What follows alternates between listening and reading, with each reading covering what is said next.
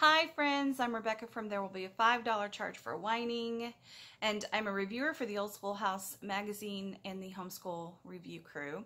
And as you saw, today is about a movie.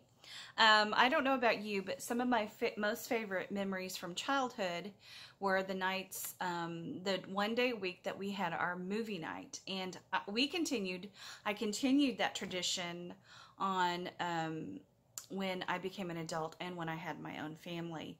Um, of course, it's always, I think, hard to find movies that you feel like are appropriate or, um, you know, something that you can show the family without having to worry about all the potty mouth and you know that has a good message and of course we're also a fan of the christian flick um, the movies that talk about our faith and that um, kind of encourage us and build us up. And um, the movie I'm going to talk to you about today is no exception. It is um, called, let me hold up the movie case, Life with Dog. It's from Mill Creek, Mill Creek Entertainment. Um, and it stars Corbin Bernsen and Marilu Henner and Chelsea Crisp. Now, if you are as old as me, or older, you probably really recognize Corbin Bernsen and Marilu Henner. They have been around a long time. Corbin, uh, Mr. Bernsen has been in literally everything, including, I believe, I remember him even being an episode of Star Trek The Next Generation which makes him a hero in my book. But um, he has been in a whole lot of TV and movies. Now, Marilu Henner, um, if you are as old as me and maybe even a little older, you might remember her from Taxi and the show Evening Shade. And she's been in a ton of stuff.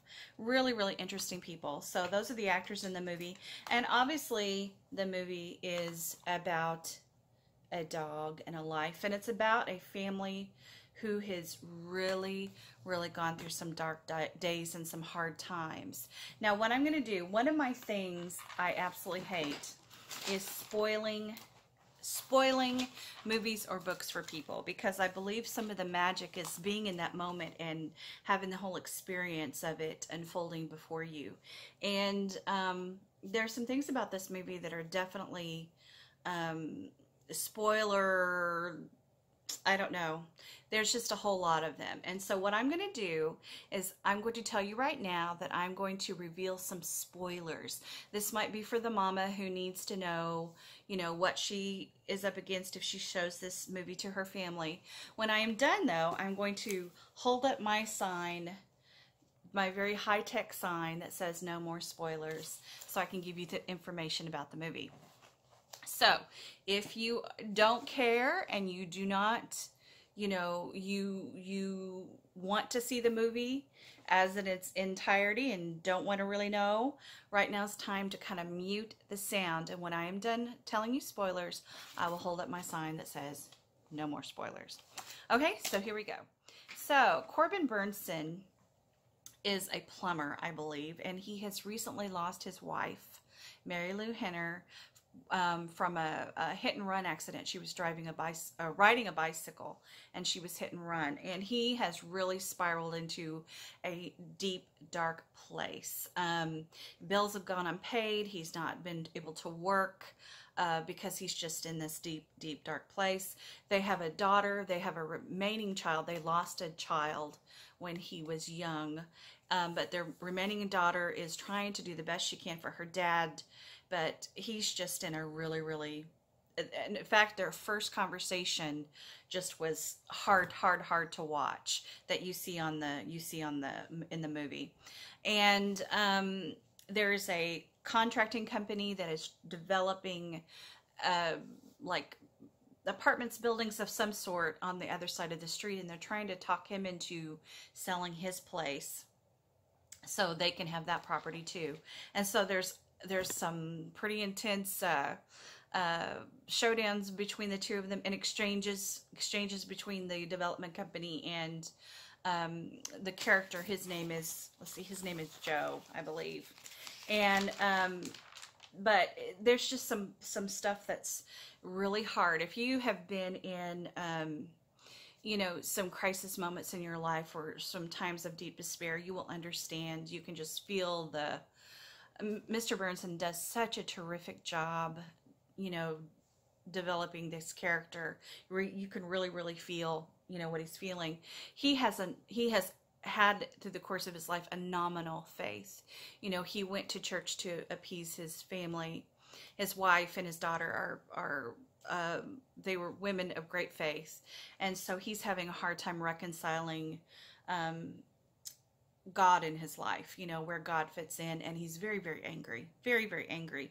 Through the course of this, this dog shows up. Now you see this dog in the first you know, scene as it will that, that you see in the movie. But this dog shows up and he starts like showing up in, in all sorts of places in um, Joe's life. And at first it's, you know, he's, you know, sprays him down. I mean, he's doing anything he can to get rid of him.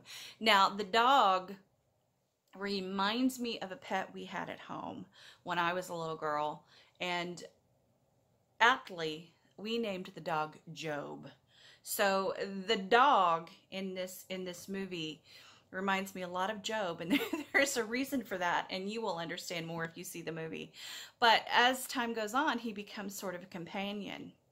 Now, as the movie goes forward, the the main goal this um, Joe has in his life at the moment is he's going to get revenge. He's going to find out who was driving the car when his wife was died when his wife died who hit his wife and um, who was responsible for the hit and run so that's part of his his um, goal throughout the movie and i will tell you um, uh, this is a big spoiler but the owner of the dog the dog that has been in joe's life winds up being the man who hit his wife.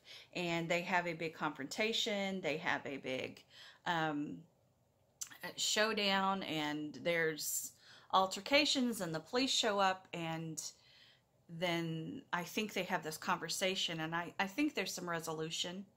But uh, then they're just both carted off in a police car. And that's it. Um, so I wish that I could see Joe in a happier space after this. I think it's left up to the imagination about where you know you feel like he's gone on from there but i think i think it's understood that he finds some peace and that he is able to forgive so i told you there's twists and turns there's also um, a period of time you're not quite sure what has happened at the very beginning of the movie you can tell that there was an accident there's paramedics and there's you know, just sadness all around. Um, but at the very first scene, you know, you see him in there and he's talking to his wife and Marilu Henner, who's playing his Alice, his wife, is having this conversation back to him. And then you realize that, you know, she is not, she actually died. So there's some of those big, big moments. As I said, it's intense. If you have little kids, you might prepare them. But I believe the message of forgiveness that you can see this rawness. We are pastors and we deal with real life and death situations every day and these people who go through this intense grieving process. And it is hard to watch. It's not all roses and sunshines and unicorns and but um, it was done really, really well, I, I believe, by Mr. Bernsen. Um, I think you will enjoy this movie. Mill Creek has a lot. Mill Creek Entertainment. I'm going to throw up the no more spoilers sign so I can talk about them for just a second and where you can get the movie. So here it is. No more spoilers. So if you were able to hang out during uh, my spoiler and and just watch me move my mouth and talk. Good for you. So I'm going to hold this up again. This is from Mill Creek Entertainment, A Life with a Dog. Now we did receive the way to access the digital copy. All you have to do is go on and sign up for a free account and you can access a digital copy, but it is not available as I learned. Um, my son has watched it a couple times on the computer. You might have seen some of that. Um, he, he enjoys this kind of thing. And I think um, the movie spoke to him. Um, but as of June 4th, which the movie is going to be available at your local Walmart. Um, you can also purchase the movie online at Amazon or rent the movie, and I know they would appreciate that. As I said, this is good, wholesome entertainment. There's nothing that you have to worry about, no language. As I said, the subject matters are hard and intense, but that is just that's just life. Um, so I, I think that is it's certainly something to add to your movie family movie collection.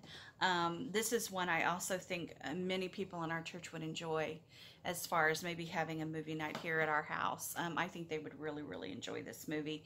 It's something that will appeal to a um, a lot of ages. So what I'm going to do right now is I'm going to send you down below, I'm going to include links into as far as Mill Creek Entertainment.